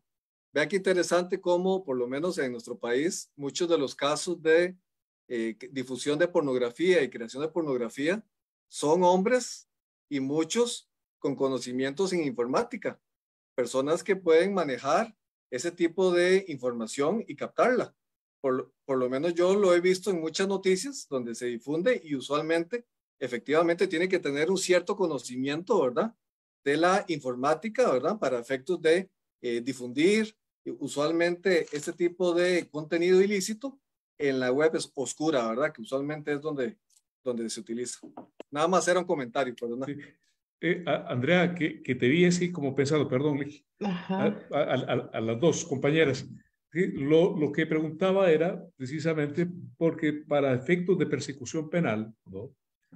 Eh, no es lo mismo perseguir al compañero del aula que difundió la foto de la que era su novia sin su autorización, que enfrentarse con una red criminal que opera eh, en el ciberespacio y comete también este tipo de delincuencia. ¿no? Y, y, eso me lleva a preguntarme si eh, cuando planteamos qué clase de sujetos cometen este tipo de delincuencia, tenemos claro todo el panorama que se puede llegar a presentar o nos enfocamos en los casos, llamémosles, sencillos, ¿no? que, que son de fácil persecución. Sí, yo creo que me gustaría aportar en ese sentido, digamos, cuando nace eh, esta herramienta de interseccionalidad, nace para comprender que el ser humano está compuesto de múltiples identidades, ¿verdad? Edad, sexo, este, mm, origen étnico, ¿verdad? educación, estatus social y demás. Ahora, la interseccionalidad, a mi criterio, no puede ocuparse en el agresor porque en realidad aquí lo que medimos en la justicia ya es el resultado de la acción. No impactar diferente en la vida del agresor, digamos, si, es un agresor que violó a un adolescente de 14 años, que lo hizo con un celular, a alguien que pertenece a una red, eh, digamos, de crimen organizado, al agarrar, digamos, o detener al agresor, digamos, la comisión del delito y la pena es la que, la que rige ahí. Digamos que la interseccionalidad y, por ejemplo, la interseccionalidad va más dirigida a las necesidades que tiene la víctima. Mientras que yo creería que para un agresor tal vez sería como que la medición de la pena o el tema de resocialización. Yo creo que ahí estamos ante una resocialización que es un proceso diferente, que es entender al agresor por qué llegó a ser agresor. Es como cuando se trabajan las masculinidades o cuando se trabaja, digamos, un agresor de violencia contra la mujer, violencia doméstica se quiere entender por qué él llega a eso. Fue criado en un hogar violento, este, ve esas prácticas en su círculo social, eh, es alcohólico o es drogadicto, ¿verdad? Pero yo creo que va a un término distinto, considero yo, pero no sé qué dice Andrea, porque la interseccionalidad nace a ver, bueno, yo soy víctima, por ejemplo, eh, que es la que da esta teoría, ella es una mujer afrodescendiente que vive en Estados Unidos y ella quería optar a una empresa que fabrica vehículos. Y ella, pues ya era ingeniera, tenía toda la experiencia y le dicen, no, el trabajo no es suyo. Ella se pregunta, ¿será que no me lo dieron por ser afrodescendiente o ser negra? ¿Será que no me lo dieron por ser mujer? ¿O será que realmente fue por no estar calificada para el puesto? Entonces ella dice, bueno, yo soy múltiple de distintas discriminaciones, ¿verdad? Y por lo tanto quiero, quiero saber cuál de esas tres que confluyen en mí fue la determinante para que no me den esa oportunidad.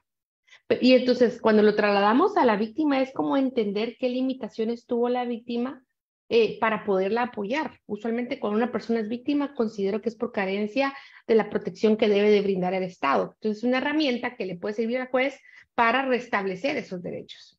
Ahora, cuando hablamos del agresor, yo considero que ya nos iríamos a un proceso de resocialización, porque todos los agresores son distintos. También hay unos que se van a máxima seguridad, otros que no son tan violentos, pero yo creo que ahí va a, otra medición que me escapa ahorita de las manos, ver si hay otra herramienta para hacerlo, pero no aplicaría la interseccionalidad hacia el agresor. No sé qué opina Andrea.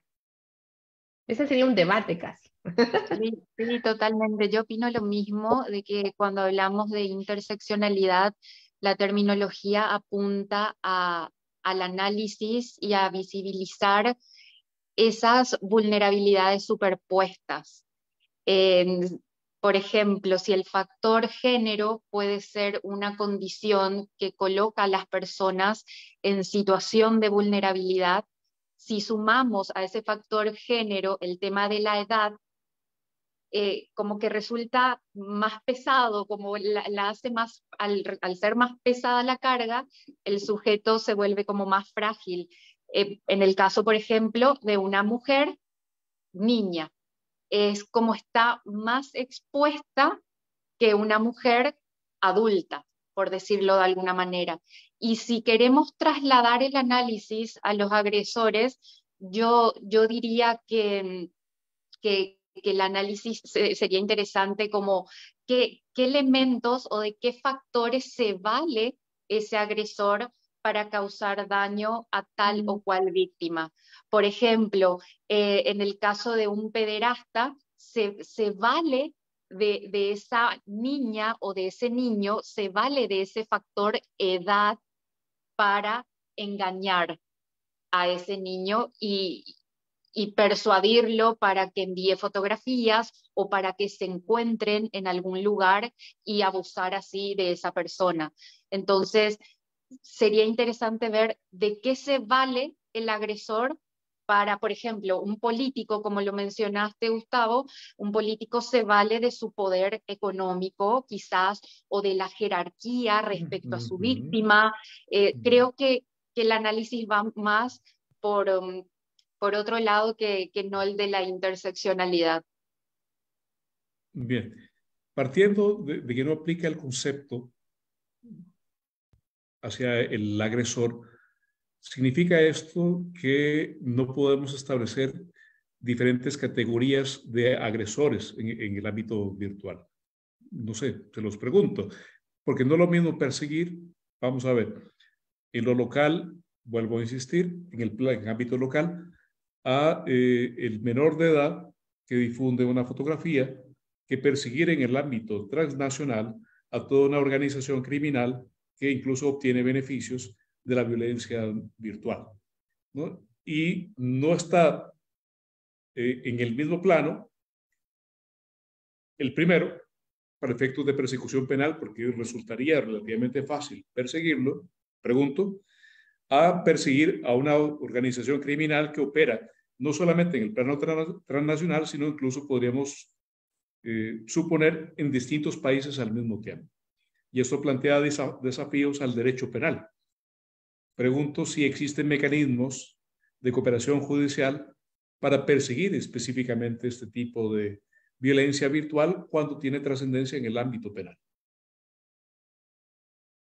Gracias, Gustavo. Muy interesante. Yo creo que vuelvo hacia el inicio o lo que decía Andrea, ¿verdad? La virtualidad es real. O sea, es lo mismo que un delito de trata de personas, que sea alguien local a que sea una organización transnacional. Lo único que va a cambiar es que va a requerir de más recursos de investigación del Estado para una persecución penal efectiva y que se va a ir a la Interpol y que va a solicitar apoyo internacional, pero en realidad la acción final hacia la víctima sigue siendo la misma.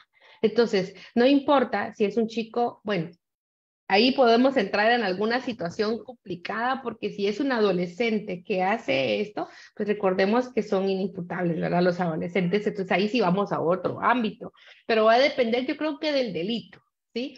Pero yo soy del criterio de que no importa la magnitud, ¿verdad? El delito se comete, hay una persona que ha sido violentada como derecho humano fundamental, corresponde restablecer sus derechos y ya es responsabilidad del Estado ocupar los recursos que sean necesarios para eso, sea una organización o sea una persona individual. Ese es, considero yo que es, esa es mi opinión, no sé qué dice Andrea y Mario.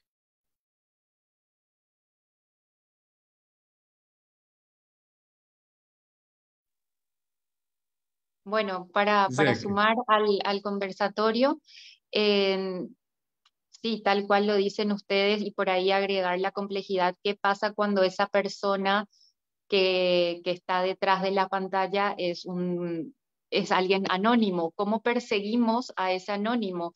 Y después el otro desafío, ¿podemos saber realmente quién empieza esta vulneración de derechos cuando el mensaje se ha reenviado muchísimas veces? Eh, todos de alguna manera somos responsables. ¿Y cómo se persigue eso penalmente? también a mí pensarlo me, genera una gran, una gran incógnita. Y a nivel de los delitos como macro o inter, internacionales, eh, me gustaría mencionar a, esta, a este operativo Luz de Infancia, que a través eh, de que distintos países van monitoreando los ID de las computadoras y van siguiéndole el rastro a, estas personas que, que, están difundiendo pornografía infantil. Y este operativo tiene realmente eh, resultados exitosos para captar a esta red de, pedófilos. Yo tal vez aportando, como dice Andrea, efectivamente, eh, tal vez ya, ¿verdad? Pasando a la pregunta número cuatro, también soy de la idea que eh, la clave está no tanto en las tecnologías, sino en la cooperación penal internacional y casualmente como la ESIT eh, es coanfitrión de, de, de este conversatorio, eh, la Agencia de Cooperación Española se ha caracterizado durante muchos años en brindar capacitación a los eh, funcionarios y funcionarias de Iberoamérica en el tema de la cooperación internacional. Y ahí es, efectivamente, como lo dijo Andrea, donde se han visto realmente colaboraciones muy interesantes, sobre todo a nivel de, Europa, con Interpol y Europol, pero también con América, eh, con Latinoamérica. Y efectivamente, pues eh, yo creo que enlazar, mejorar, eh, suministrar información de calidad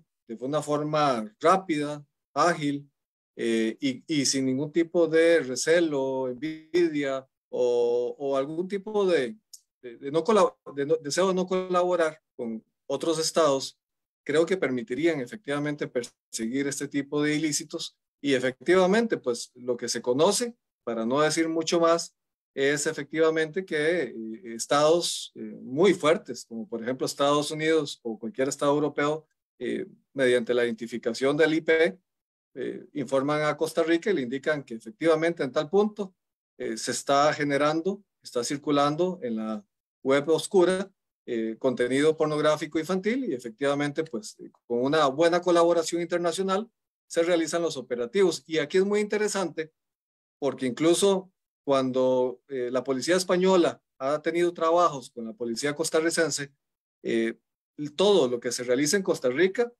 eh, es llevado a España y lo que España realiza se lo traslada a la policía eh, costarricense, a la policía judicial, y se homologa todo aquella acervo probatorio que es obtenido. Así que creo que más que la tecnología eh, aplicada a la persecución delictual, lo más importante es la colaboración y que eh, los órganos policiales, los jueces de instrucción, los jueces, en este caso los jueces de paz, como indicaba un compañero acá en el chat, eh, hay una buena colaboración entre estados. Muchas gracias. Ya ah, Andrea, Mario y, Ligia han adelantado lo que vendría a ser el, cuarto punto del conversatorio, que cuáles tecnologías permitirían la persecución de estos delitos, por lo que vamos a pasar dentro de poco a la, última cuestión. Pero eh, me gustaría mencionar, eh, según me pusieron acá en el chat, que Yolanda López de Guatemala hizo un comentario sobre un tipo de violencia que creo que dejamos de lado que es el tema de los retos virales que se ponen en las redes sociales eh, con carácter lúdico, pero que uno puede suponer que tienen una clara finalidad de utilizar eh, de manera inmediata a la propia víctima de la violencia cibernética para que ésta realice una conducta que le puede poner en peligro y que de hecho en algunos casos ha provocado lesiones o la muerte. ¿no? que pareciera en principio muy inocente, pero que no lo es. Lo dejo allí, por si quieren hacer algún comentario, y para abordar la última cuestión. Solo quisiera, eh, Gustavo, perdón, agregar algo muy importante, porque se hablaba de que TICs pueden facilitar la persecución penal en este tipo de delitos. Pues en realidad cuando hablamos de TIC es todo dispositivo. ¿verdad? Todo lo que nos permita acceder a Internet, que tenga correo, aplicaciones, eso ya es una TIC, ¿verdad? Todo aquello que nos permite comunicarnos entre seres humanos. Entonces, por ejemplo, ¿qué nos permite perseguir estos delitos? Las mismas TICs, O sea, por ejemplo, aquí en Guatemala, las mismas redes sociales han servido para capturar a los agresores, ¿verdad? Hay un, departamento de investigación que crea perfiles falsos. Cuando, hay casos, digamos, que ya son seriales, entonces crean un perfil falso de un adolescente, niño niña, que puede ser de interés para el agresor, Lo captan de esa forma y al llegar ya hacen la aprehensión, ¿verdad? Igual, ¿verdad? Lo mencionaba Andrea, hay organizaciones también y, y, dentro del Estado que de oficio buscan páginas. Guatemala es el mayor productor de pornografía infantil, lastimosamente. Y entonces cuando encuentran esas páginas, meten virus en las páginas para bloquearlas y tratan de rastrear la IP para ver si logran. Lo que pasa es que también, si son muy expertos, pasa que a través de la dark web, que eso no hablamos hoy porque es otro tema, ellos pueden alterar el IP de la máquina. Entonces yo le puedo poner a mi máquina un IP de Alemania, de China, de Suecia y pueden creer que yo estoy allá cuando yo estoy aquí desde mi casa, ¿verdad? La virtualidad deja una huella que no se puede borrar, es rastreable, pero sí puede confundir un poco, digamos, al investigador. Y otro medio muy importante para investigar y perseguir estos delitos es que eh, Meta eh, que es ahora pues, la empresa que es dueña de Facebook, Twitter y demás, eh, ayuda a la justicia, ¿verdad? Los fiscales pueden solicitar informes de los perfiles, ¿verdad? De las personas víctimas y cuando es en caso de suma emergencia, pues pueden dar a prevención alguna información, ¿verdad? Entonces, eh, Guatemala hace las solicitudes porque la mayoría de ciberdelitos es a través de Instagram, Twitter, WhatsApp, y piden ellos información. Entonces, Meta pues como algo de responsabilidad social, ¿verdad? También y como un cumplimiento de sus políticas, brinda a las autoridades em, información que permite rastrear a, estos agresores y ver, por ejemplo, de qué manera lo cometieron, desde qué dispositivo se comunicaron, dónde estaba ubicado el dispositivo. Entonces, sí hay varios elementos que nos permiten hacer esa persecución eh, penal efectiva, ¿verdad? Solo para agregar a ese punto que me parecía importante para ir cerrando y antes de darle la palabra a Andrea y a Mario, bueno, ya vimos que las tecnologías de la información es el instrumento para cometer violencia virtual. Ya Ligia nos acaba de explicar que también las propias tecnologías de la información sirven para perseguir eh, este tipo de fenómenos. La última cuestión, ¿podrían las tecnologías de la información servir de una u otra manera para reducir la revictimización de la persona. Y agrego una pregunta más. Nuestros derechos internos, preguntando por el caso específico de Paraguay, de Guatemala, Honduras y El Salvador, que entiendo es lo que ha estudiado Legia, y el caso de Costa Rica, nuestros derechos internos están preparados para afrontar estas nuevas formas de violencia. Gustavo, tal vez para, para abordar los dos temas de forma muy rápida. Primero que todo, justamente lo que estamos haciendo hoy, la virtualidad, el Zoom, permitiría evitar que la víctima esté yendo a los despachos jurisdiccionales a dar declaraciones. Eso sería muy positivo. Segundo, la, cámara de Gesell, aunque sea un, de Gesell, perdón, aunque sea un, sea un, eh, sea un recinto en el cual una persona se ubica para dar una declaración sin ver al agresor o al ofensor o al imputado, al final de cuentas, desde mi punto de vista, es una forma de tecnología que permite efectivamente grabar, que permite guardar las declaraciones y esto tiene que ir de la mano hacia uno de los bemoles más grandes que tiene nuestra administración de justicia, creo que a nivel latinoamericano, que es que a las víctimas de estos tipos de delitos y a las víctimas en general las llevamos una, dos, tres, cuatro, cinco veces a declarar. Eso ya se, ah, ya se ha estado eliminando en Costa Rica, pero se dan casos donde incluso se denuncia una vez y luego se le llama para que amplíe, luego se hace un anticipo jurisdiccional de prueba eventualmente, el dictamen médico legal para valorar si fue, eh, si se realizó una penetración, entonces ahí se da una versión, luego el dictamen psicológico, psiquiátrico, el psicológico forense o el de trabajo social. O sea, al final de cuentas, eh, la tecnología podría permitir evitar la revictimización, sobre todo de parte de la Administración de Justicia. Pero lo más importante es evitar ese montón de declaraciones que lamentablemente afectan y revictimizan a las víctimas. Y eh, el otro tema era el que eh, decías que se me olvidó. Ah, sí, que si el ordenamiento jurídico, en este caso particular costarricense, está adaptado. Yo no sé si está adaptado. Lo que sí puedo decir es que tenemos todo un, una amalgama de eh, delitos de esa naturaleza, donde se ha tipificado las conductas, de muchas de las que hemos estado hablando acá.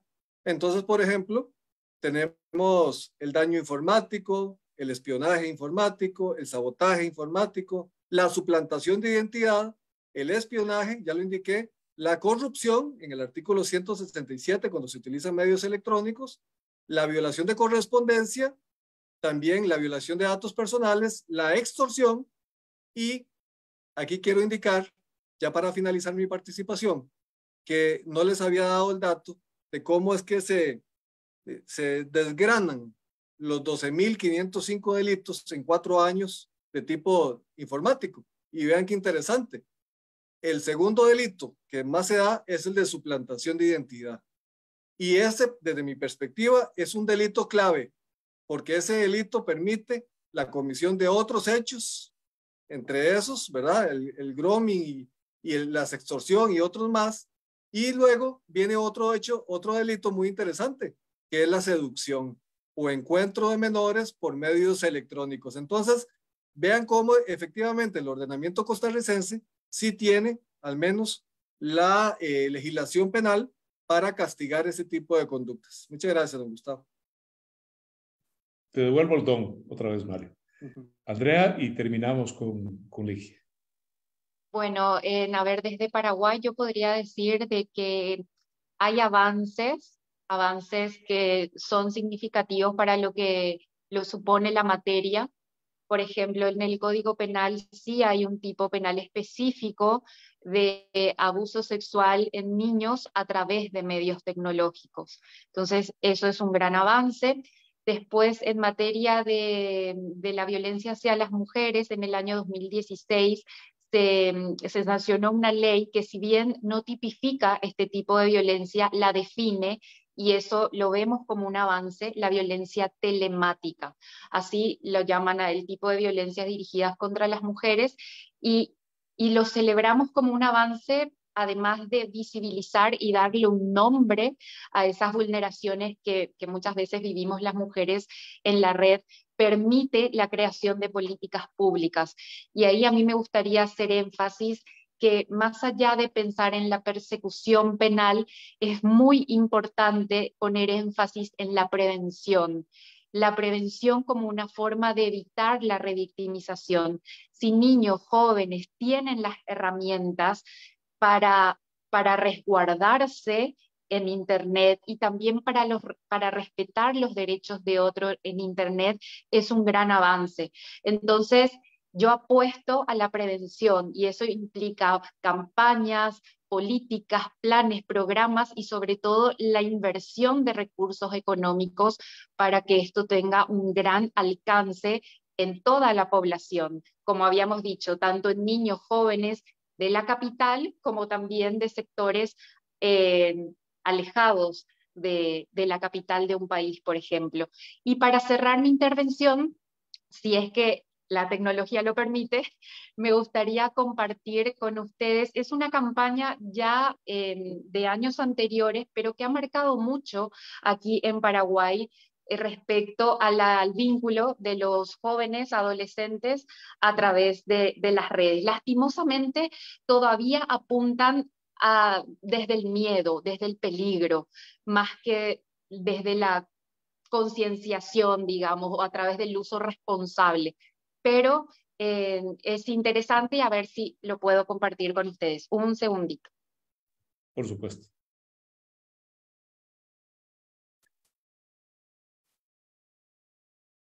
Esto queda subido al Facebook, tengo entendido. para quien tenga interés también podrá acceder la información allí.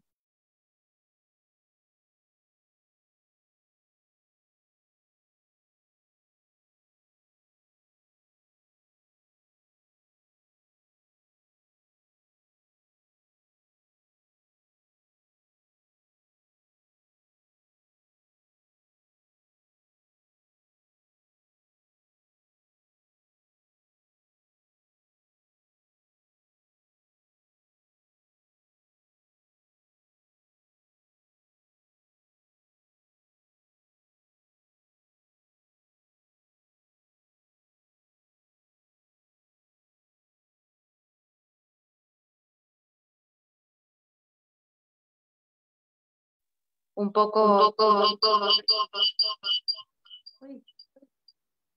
compartir con ustedes esta campaña para cerrar mi intervención.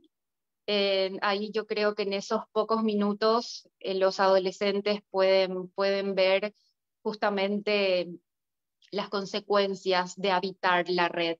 La idea no es censurarlos ni, ni que habiten con miedo, sino con responsabilidad y con la conciencia de saber qué puede pasar y por sobre todas las cosas con los cuidados pertinentes.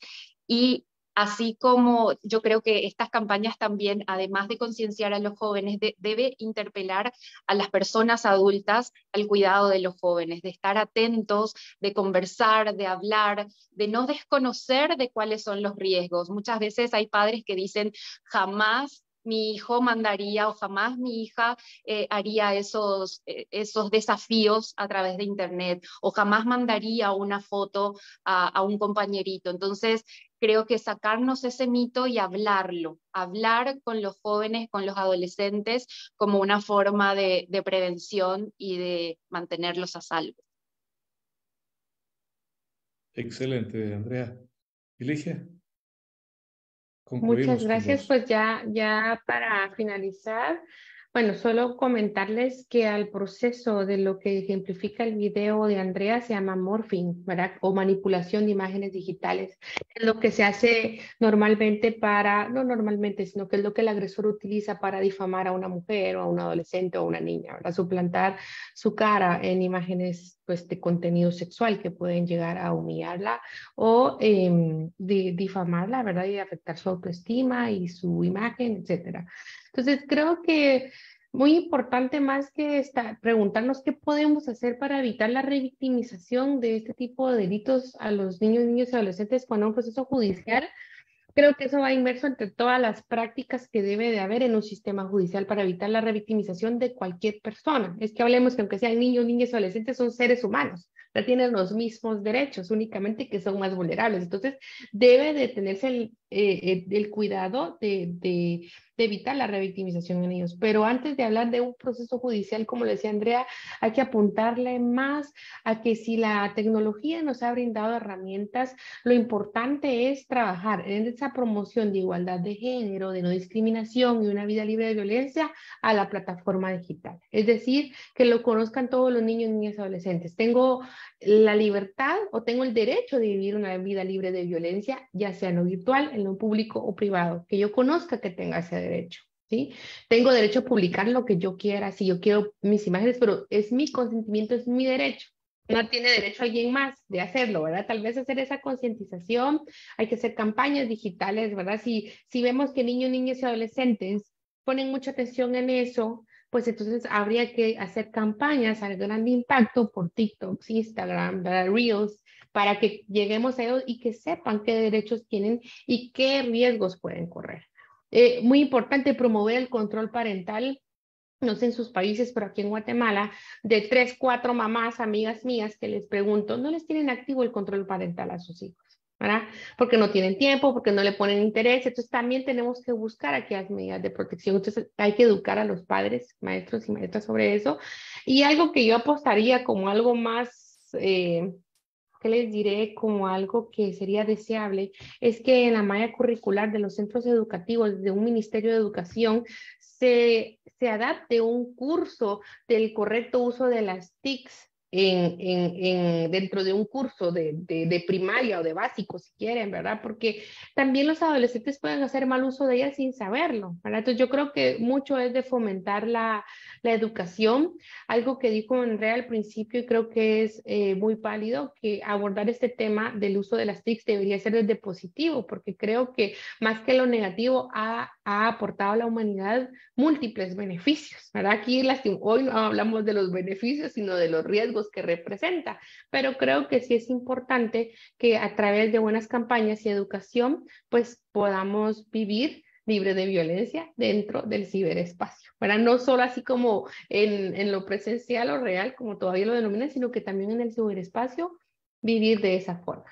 Entonces, esto es hasta todo el día de hoy eh, como participación. Muchas gracias.